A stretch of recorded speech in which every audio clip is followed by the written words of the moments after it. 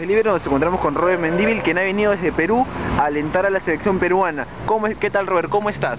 Estoy muy bien, contento y alegre aquí, esperando que el señor Manuel Burga me regale una entrada para poder ver el Perú. Cuéntanos tu travesía desde Perú aquí, ¿cómo te fue? Ah, bueno, yo salí el día miércoles 29 de, de- de- desde Lima, Lima, Arequipa, Desaguadero, Puno, La Paz, Villazón, La Quiaca, Jujuy, Salta.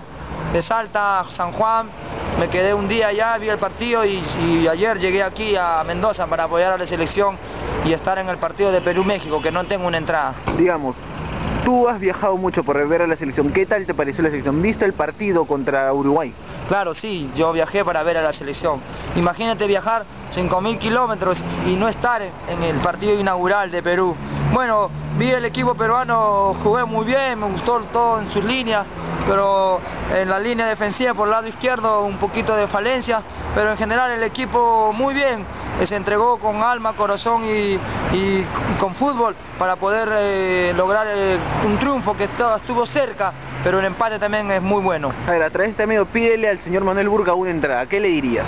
Bueno, señor Manuel Burga, con educación, con respeto, este hincha peruano que viajó 5.000 kilómetros, que viajó 5 días, 6 noches para, para poder apoyar a la selección, le pido de corazón que me regale una entrada para poder ver el partido.